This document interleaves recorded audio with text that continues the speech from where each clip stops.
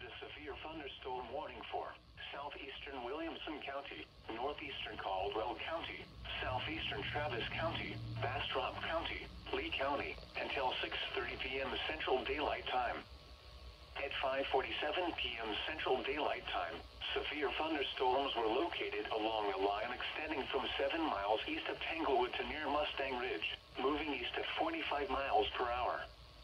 Hazard, 60 miles per hour wind gusts and quarter-size hail. Source, radar indicated. Impact, hail damage to vehicles is expected. Expect wind damage to roofs, siding, and trees. Locations impacted include Austin, Elgin, Bastrop, Giddings, Smithville, Lexington, Tanglewood Forest, Austin Bergstrom International Airport,